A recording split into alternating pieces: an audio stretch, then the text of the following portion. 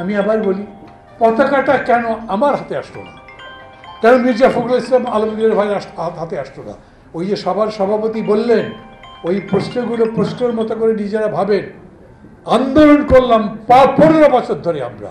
কিন্তু বিজয়ের দিন পতাকা আমার হাতে নাই। কিছু তো একটা ছিল, যে জন্য পতাকা আমার হাতে আসেনি। ওইটা করে ভাবেন আবার, আজকেও আমি যা বলছি, তাতেও কি পতাকা আমার হাতে আসবে? এই আন্দোলনটা কি ছিল? কোনো নেতৃত্ব তো নাই। কোনো স্ট্রাকচার নেই আন্দোলনের। কোনো কমিটি নাই। তারপরেও আন্দোলন এবং তাদের ডাকে যেই রকম করে লাখ লাখ মানুষ ঢাকায় আসলো। আমাদের ডাকে তো আসেনি। আমি সেরকম একটা প্রশাসন চাই, সেরকম একটা দেশ চাই, যেই দেশ আমার, যেখানে বুক ভরে শ্বাস নিতে পারব, চোখ খুলে দেখতে পারব, মন ভরে কথা বলতে পারব, সেই রকম পরিবেশ চাই, সেরকম বিধান চাই, সেই রকম প্রশাসন চাই। সেটা গড়বার জন্য কি করতে হবে? কেমন পুলিশ চান বলেন? কেমন প্রশাসন চান বলেন? আমি যদি গিয়ে এই তত্ত্বাবধায়ক মাফ করবেন, এই অন্তর্বর্তী সরকারকে বলি, আপনারা কি সংস্কার করতে চান বলেন? আমি জানি না, ডক্টর ইউনিস কেন বললেন না? আমি কেন সংস্কার করব? সংস্কারের দাবি তো আপনাদের ছিল। আপনারা চোদ্দ দফা দিয়েছিলেন সাত দফা দিয়েছিলেন। তারপরে একচল্লিশটা দল মিলে আপনারা একত্রিশ দফা দিয়েছেন। আপনারা বলেন কি সংস্কার চান? আমি সেটা করব, কি কীভাবে করব সেটা বলব। উনি সেটা বলেননি, কিন্তু আমাদের পক্ষ থেকে এখন পর্যন্ত সংস্কারের প্রস্তাব, আমাদের আছে কিন্তু একত্রিশ দফা, সবাই মিলে। কিন্তু আমরা নতুন করে তো বলছি না যে এই সংস্কার এরকম করে চাই। আমরা তাদের উপরে নির্ভর করে যদি থাকি, তো তারা বিরাট লম্বা একটা লিস্ট দেবেন। ওই যে বিলকিস বললেন বললেন একটু আগে, যে মান্না ভাই কতদিন সময় দেবেন? আরে, সময় তো আমরা দিচ্ছি, তাকে বলছি, তুমি কি সংস্কার করতে চাও? খুবই চমৎকার কথা বিএনপির মহাসচিব বলেছেন, একটা রোড ম্যাপ দিতে হবে। মানুষ হয়তো মনে করতে পারে রাজনৈতিক দলগুলোর কাছে ক্ষমতা গেলেই ওইখানে দুই নম্বর, নয় নম্বর ছয় নম্বর হতে থাকবে। বরঞ্চ এই সরকারই থাক। ওটা আমি শাহাবুদ্দিন সরকারের সময় দেখেছিলাম। কিন্তু শেষ কথা হচ্ছে, রাজনীতি ছাড়া তো দেশ চলবে না। নির্বাচন তো লাগবে, জনগণের গণতান্ত্রিক প্রতিনিধি লাগবে, সংসদ লাগবে। অতএব যখন বলেন তার রোড চাই, সেটাকেও বিরোধিতা করছে না। রোডম্যাপ তো চাই। একে অনন্তকাল থাকবে? সংস্কার মানে কি? সারা জীবন ধরে সংস্কার করবে। বাংলাদেশ কত সুন্দর হতে পারে, তার কি কোনো লিমিট আছে? তো সংস্কার চলতে থাকবে। যতদিন দেশ থাকবে, ততদিন সংস্কার চলবে। ওরা ঢাকা সিজ মানে ঢাকা অবরোধ করবে ছয় তারিখে, তাই বলেছিল। হঠাৎ করে একেবারে চার তারিখ বিকেলবেলা বলল, না, তোমরা সবাই কাল সকালের মধ্যে এসে পড়ো। এবং সবাই সকালের মধ্যে এসে পড়ল। তারপরে যা হলো, সেটা তো ইতিহাস। সাথীরা এবং বন্ধুরা, এই মহাকাব্যের মধ্যে আমাদের অনেক কিছু শেখার আছে। আমরা যদি তার না শিখি, কেবল আবেগের উপরে কথা বলি, কেবল নিজেদের একটা আকাঙ্ক্ষার উপরেই দাঁড়িয়ে থাকি, তাহলে ইতিহাস থেকে শিক্ষা নেওয়া হবে না। সেই লড়াইকে যদি আপনি একাত্ম হয়ে আসতে পারেন, তবেই হবে। এটা তো সত্যি কথা। আমরা এই প্রজন্মের ভাষা বুঝি নাই। তাহলে চার তারিখ পর্যন্ত আমরা বুঝতে পারলাম না কেন?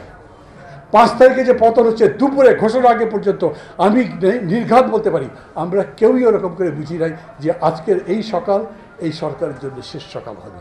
কিন্তু তাই হয়েছে। এই কারণে আমার বক্তব্য হচ্ছে, এখন পারলে সবাই বসেন বসে সবাই মিলে যে একচল্লিশটা দল আন্দোলন করছেন তারা মিলে বসেন। আজকের প্রেক্ষিতে একত্রিশ দফা মানে কত দফা? আজকের প্রেক্ষিতে সংস্কার মানে কি? আজকের প্রেক্ষিতে সুষ্ঠু নির্বাচনের জন্য এই এই অবশ্য করণীয় এতদিনের মধ্যে করা যাবে। সেটা নিয়ে সরকারকে বলেন, এই হলো আমাদের কাজ। আর নইলে আলাদা আলাদা করে যদি বলেন, তাহলে একজন বলবে, আমি ইসলামিক দেশ চাই, একজন বলবে, সেকুলার দেশ চাই, একজন বলবে, ভারতের সঙ্গে সংসম্পর্ক বন্ধ করো, একজন বলবে, পাকিস্তানের সাথে খাতির করো। সরকার সিদ্ধান্ত নেবে কীরকম করে? শেষ পর্যন্ত সরকার একটা এলএফও দিয়ে দেবে, সেই এলএফওর মধ্যে আপনাকে ভোট করতে হবে। এগুলো হচ্ছে আপনার বিবেচনা করে বর্তমান পরিস্থিতির উপরে সঠিক একটা সিদ্ধান্ত নিতে হবে। আবেগ দিয়ে হবে না ইমোশন দিয়ে হবে না। ওই ইমোশনের লড়াই করে জিতেছি, ওই পর্যায়ে আপাতত বন্ধ করে। শুনেছেন পাকিস্তানে যে আন্দোলন হচ্ছিল, সেই আন্দোলনে সবাই বাংলাদেশ সম্পর্কে কথা বলছিল। এখন আবার আফ্রিকাতে যে আন্দোলন চলছে, সেই আন্দোলনের মধ্যে বাংলাদেশের কথা বলা হচ্ছে। একটা মহাকাব্য। কি অদ্ভুত বিষয়। আমার তো খেয়াল আছে, চার আগস্টেও আমাকে অনেকে জিজ্ঞেস করেছেন, ভাই, কিছু হবে? অনেকে বিশ্বাসই করতে চাননি যেটা পড়ে যেতে পারে। যেদিন শপথ গ্রহণ অনুষ্ঠান হয়, সেদিন আসিফ নজরুল আমাকে জিজ্ঞেস করছেন, মান্না ভাই, শেষ পর্যন্ত সম্ভব হলো? আমি বললাম, ভাই, শপথ দিতে যাবেন একটু পরে, তাও সন্দেহ আছে, যোগ করা। কিন্তু এটাই হচ্ছে সত্যি। চার তারিখেও বুঝিনি। কিন্তু পাঁচ তারিখে ঘটনা ঘটে গেল।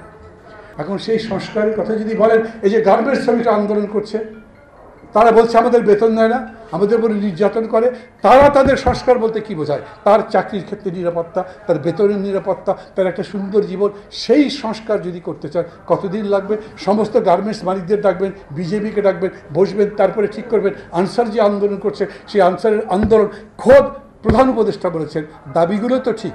যারা নেগোশিয়েট করেছেন, তারা বলেছেন, সমস্ত দাবি ন্যায্য।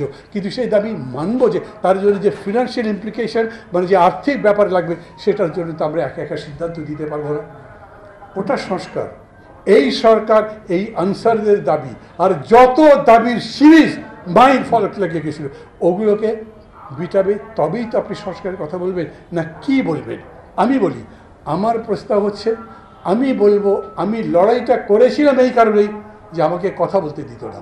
দেশটা ধ্বংস হয়ে যাচ্ছিল, কারণ দেশে গণতন্ত্র ছিল না। কারণ দেশে নির্বাচন ব্যবস্থা শেষ করে দেওয়া হয়েছিল। আমি সেই নির্বাচন ব্যবস্থা যাতে সুষ্ঠু হয় তার গ্যারান্টি চাই। যা যা করতে হয় তত্ত্বাবধায়ক অন্তর্বর্তী সরকার তাই করুক। এখন কেউ যদি বলেন না, তিন মাসের মধ্যে করতে হবে, ছয় মাসের মধ্যে করতে হবে। তারা যদি বলেন, আমি তো পারছি না। ওইটা যে কেয়ারটেকার সরকার ছিল এর আগে, যেটাকে দুই, তিন মাসের একটা টার্ম ছিল কনস্টিটিউশনের মধ্যে, সেটা দুই বছর লাগিয়ে দিয়েছিল। এখন পুরা পুলিশ ব্যবস্থা ঠিক করলে কি হবে আপনাকে? আপনার বিউরোক্রেসি ঠিক করতে হবে বিজেপি ঠিক করতে হবে, একই সঙ্গে আপনার জিনিসের দামও তো কমাতে হবে, একই সঙ্গে জনগণের যতগুলো সংকট আছে সেটা ঠিক করতে হবে, আর এই যে আওয়ামী লীগ কত লক্ষ কোটি টাকার মধ্যে নিয়ে এসছে, এই টাকাগুলো ভোটের মধ্যে দেবে না, সেটা বন্ধ করবেন কি আপনি তারও তো ব্যবস্থা রাখবে টোটাল প্যাকেজ বলতে হবে আপনাকে রাজনৈতিক দলকে। এবং তার মধ্যে আমি বলি যেই দল সবচেয়ে বেশি দায়িত্বশীল মনে করে নিজেকে তার বলতে হবে এই সংস্কার আমি চাই। আপনার যদি হিসাবে মনে হয় যে এই সংস্কার আমি ছয় মাসের মধ্যে করতে পারি বলবেন দেখাবেন এইভাবে করতে পারি। নইলে যদি কেমন মনে করেন আমি বড় দল আমি বলছি আমার এই ক্ষমতার উপরে অধিকার আছে। হ্যাঁ, এটা ঠিক ভোট যদি হয় হয়তো আপনারাই জিতবেন। কিন্তু আজকে যে আন্দোলন হয়েছে সেই আন্দোলন ওই রকম ভোটের জন্য হয়নি। সেই আন্দোলনে সমাজ বদলাবার জন্য হয়েছে। সেই আন্দোলন জনগণের গণতান্ত্রিক অধিকার, ভোটের অধিকার, ন্যায্যতা, জনগণ কর্তৃক তাদের নির্বাচিত প্রতিনিধিদের হাতে ক্ষমতা দেবার মতো একটা পরিবেশ তৈরির লড়াই করেছে। ভাবেন একবার, বারো বছর, তেরো বছর ধরে লাগাতার আন্দোলন করেছি আমরা। আপনারা যারা আজকে অনুষ্ঠানের আয়োজন করেছেন, প্রধানত তারা। বাংলাদেশ জাতীয়তাবাদী দলের নেতা কর্মীরা অজস্র জীবন দিয়েছেন। কত কষ্ট সহ্য করেছেন? কারা নির্যাতন ভোগ করেছেন? আয়না ঘর সহ এত বিস্তারিত বলবার দরকার নেই। কিন্তু যেদিন বিজয় হলো, সেদিন বিজয়ের পতাকা আপনাদের হাতে না সেদিন বিজয়ের পতাকা এমন এক প্রজন্মের হাতে, যেই প্রজন্মের কথা দশ দিন, পনেরো দিন আগেও আমরা ভাবতে পারিনি যে এরা এই পতাকা হাতে নিতে পারে। আমার মনে আছে ঠিক এই হলে এইখানে একটা সেমিনার হচ্ছিল। তখন আন্দোলন শুরু হয়েছে। নূর হোসেন নুরুল হক নূর বক্তৃতা করছিলেন। এই যে আন্দোলন করছে, এরা চাকরি চায়। এরা গণতন্ত্রের কথা বলছে না, নির্বাচনের কথা বলছে না, সরকারের অত্যাচার নির্যাতনের কথা বলছে না। এটা কোন প্রজন্ম? নুরুল হক নূর। আমি বক্তৃতায় তাকে বলেছিলাম, তোমরা যখন আন্দোলন করেছ, তখন তোমাদের মিছিলের সামনে থাকতো শেখ হাসিনা, শেখ মুজিবের ছবি। তোমাদের স্লোগান ছিল, শেখ মুজিবের বাংলায় বৈষম্যের ঠাঁই নাই। কিন্তু এই যুবকরা যখন, এই ছাত্র যখন মিছিল করছে, ওদের সামনে কোনো ছবি নাই। ওদের মুখে এইরকম কোনো স্লোগান নেই। ওরা তাদের ন্যায্যতার কথা বলছে। কোটা নাকি মেধা? সত্য না বেঠি কোনটা? তার উপরে লড়াই করছে। যারা বলেছেন এত বছর বছর ধরে, এই প্রজন্ম তো একেবারেই নিজেদের চিন্তায় বুধ হয়ে আছে। ওরা কেবল স্বার্থ দেখে। ওরা কেবল চাকরি খোঁজে, ওরা বিদেশ যাওয়ার চিন্তা করে, কম্পিউটারের মধ্যে সোশ্যাল মিডিয়ার মধ্যে আচ্ছন্ন, জনগণের কথা ভাবে না। কিন্তু দেখেন, সাত দিনের ব্যবধানে ওই আন্দোলন, কোটার আন্দোলন, মেধার আন্দোলনে পরিণত হলো। আর তার সাত দিনের মধ্যে সেটা এই স্বৈরাচারী পত্রের দাবিতে এমন সংঘবদ্ধ হলো যে প্রায় অসম্ভব এক স্বৈরাচার শেষ পর্যন্ত ন্যাক্কারজনকভাবে পালিয়ে যেতে বাধ্য হলো।